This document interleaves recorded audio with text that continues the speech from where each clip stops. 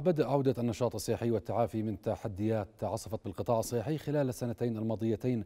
تعرض الأصوات التي تنادي بتشديد الرقابة أو بتشديد الرقابة على الحجوزات السياحية الداخلية أو الخارجية. تفاصيل أكثر نتابعها مع ضيفنا أمين عام وزارة السياحة والأثار الدكتور عماد حجازين الذي ينضم إلينا عبر الهاتف. أهلا بك دكتور. دكتور جمعية وكلاء السياحة والسفر أعلنت عن مخالفات لمكاتب سياحية وأشخاص يمتهنون هذه المهنة. بداية هل رصدتم شكاوى وكم عددها حتى الآن؟ مساء الخير مجددا. واقع نعم. تم أشهر ستة إلى استلام الوزارة ل 234 شكوى مختلفة.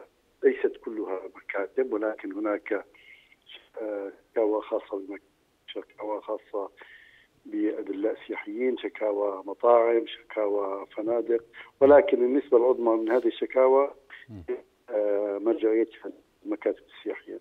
نعم. كم عدد هذه الشكاوى وما طبيعتها أو طبيعة هذه المخالفات؟ هلا هي بالواقع مخالفات شكاوى في أكثر بعضها في إخلال في الخدمة المتفق عليها بين المكتب وال والطبيعة كان أيضا من الجمعية بخصوص مكاتب تمارس الإعلام عن رحلات مصرح لها نعم وفي بند آخر مكاتب هي مكاتب سياحية ولكنها غير مجددة لتصريحها وترخيصها للعمل مجددا. نعم. دكتور في الآونة الأخيرة أيضا نشهد ترويج سياحي للأردن عبر مواقع التواصل الاجتماعي كيف تتأكد الوزارة من صحة هذه الإعلانات؟ في الواقع الوزارة بدأ هناك شرط للإعلان عن رحلة سياحية بأن يعتمد البرنامج السياحي من الوزارة. هذا بالتنسيق مع الجمعية ويتم متابعته من خلال لجنة مشكلة من الوزارة جمعية وكلاء والسفر للوقوف على كل الإعلانات التي يتم عنها. ولكن كما تفضلت هنالك بعض الأشخاص الذين يعلنون من خلال بالأساس وسائل التواصل الاجتماعي. نعم. لرحلات وهم أيضا بالأساس غير مرخصين لمزاولة مثل هذه المهنة. نعم. ويتم متابعتهم من خلال اللجان وتحويلهم حسب الأصول. نعم. يعني بما ان تحدثنا عنهم يعني ما هي الإجراءات أو إجراءات وزارة السياحة؟ هلا يعني للتعامل مع الشكاوى ضمن نعم. ترويج الأردن سياحيا. هلا يا سيدي إذا كان هنالك شخص بغض النظر ليس فقط مكتب سياحي نعم. أي شخص يزاول مهنة دون ترخيص فهو بالتالي مخالف بنص تسعة من السياحة. بالدرجة الأساس يتم تنبيه هذا الشخص بأنك مخالف. هناك مخالفة أساسية متكررة يتم تحويل إلى إلى الادعاء. نعم. ولكن في المخالفات لنفرض كان هناك في خدمة متفق عليها بين المسافر والمكتب وصار هناك اخلال في تقديم الخدمة للمسافر.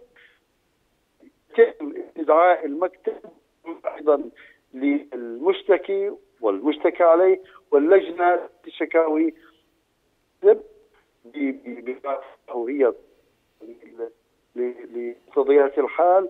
ثم هذه التنسيبات يتم المصادقة عليها أو ربما تعديلها من خلال لجنة كبرى تسمى لجنة السياحة هناك ممثلين نعم. لكل القطاعات السياحية دكتور نعم. يعني لضيق الوقت يعني أخيرا ما هي رسالتكم للمواطنين عند حجز رحلة سياحية خارجية كانت أو داخلية بالأساس الانتباه ومراجعة العقد اللي وهناك تم قبل أسبوعين خلينا نقول تنظيم عقد موحد. بين المكتب والمسافر بالدرجة الأساس قراءة العقد بتمعن قبل التوقيع عليه. نعم. أمين عام وزارة السياحة والأثار دكتور عماد حجازين كنت معنا عبر الهاتف. شكرا جزيلا لك. لغايات تشغيل مطار عمان المدني في ماركة أمام حركة الطائرات المدنية أنهت شركة المطارات الأردنية تأهيل منطقة السلامة في نهايات المدرج بحسب ما أعلنت وزارة النقل. الوزارة قالت أن العمل حاليا يتم على استكمال متطلبات التشغيل حيث تم طرح عطاء لردم الوادي المحاذي لمدرجات الطائرات. وأضافت الوزارة أنها تعمل مع شركة المطارات الأردنية على تنفيذ دراسة الجدوى الاقتصادية لمشروع استثمار وتطوير مطار عمان المدني كفرصة استثمارية بأسلوب البناء والتشغيل وإعادة الملكية على غرار مطار الملك علي الدولي من خلال الشراكة بين القطاعين العام والخاص. بعد انتهاء عطلة العيد رصدت رؤية آراء المواطنين حول مدى كفاية الراتب حيث أكدوا أنه لا يكفي حتى منتصف الشهر وأنهم يلجؤون إلى الدين لتلبية احتياجاتهم واستكمال ما تبقى من الشهر. إذا بدي أحسب لك على راتبي أنا بوصل دائما 14 الشهر فعليا بمزحش معاك. ببلش إيش؟ أدبر حالي. أبوي صاحبي سلفي والله بمزحش. يعني باجي باخذ راتبي إيه بطلع ياخذ علي 100 ليرة دين يزم خل والله عشان أسكر اخر الشهر. بدرس جامعة. طب أنا كل ثلاثة أشهر بدي 500 ليرة للجامعة. يعني إذا بدي أحسبها كل شهر بدي أشيل 150 من راتبي. وراتبي 260 صفى لي 110 ليرات لا طلعت لا أكلت لا لبست لا دخنت. مصروفي على الجامعة يوميا مواصلاتي. ومصروفي بدي 6 ليرات. أقل شيء أنا بعد 10 الشهر أنا عندي خمس أنفار عيلة من خمس أنفار وأنا وامهم سبعة. بعد 10 الشهر بدي من محل الخضرة من محل الدجاج ومن محل الخلويات ومن السوبر ماركت. يعني بعد 10 الشهر 15 شهر بالكثير كله دين. يعني بدك آه، تلتزم باللي آه، يجي راتبك تتأقلم به. الحمد لله الواحد بيشتغل من هون ومن هون بطقطق وماشي الأمور. ظل من راتبي تقريبا 7 دنانير آه التزامات العيد جدا آه ألزمتنا بظروف صعبة والوضع الاقتصادي بالبلد يعني جد سيء للغاية. يعني أنا عندي محل اتصالات لكن ما يمشيني قدرة يعني سبعة شهر أو يعني ماكسيموم 12 شهر. تداينت والله لم يبقى من الراتب ما في يعني شيء بسيط. تعرف فترة عيد وملابس يعني وعيديات وعلى الله الحمد لله.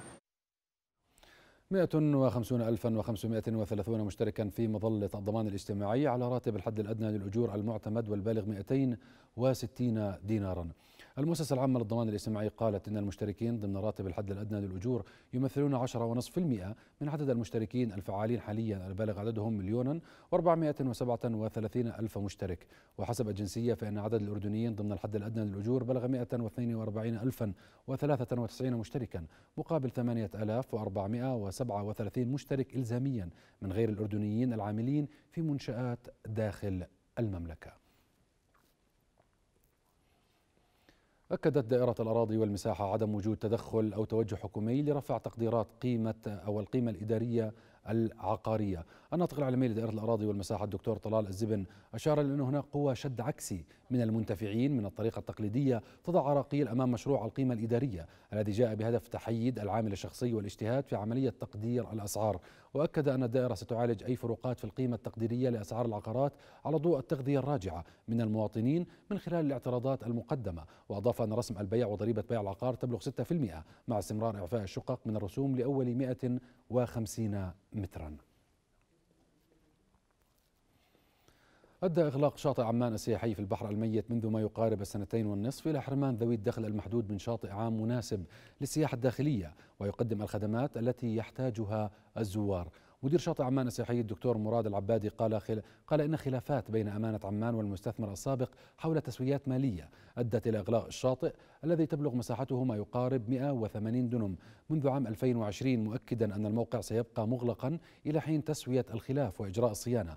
مواطنون قالوا إن الشاطئ العام في البحر الميت يفتقر إلى الخدمات والبنى التحتية اللازمة لاستقبال الزوار وبات الكثيرون يفترشون الأرض عشوائيا على جوانب البحر مؤكدين الحاجة إلى أكثر من شاطئ عام في البحر الميت يقدم خدمات بأسعار تناسب دخل المواطن.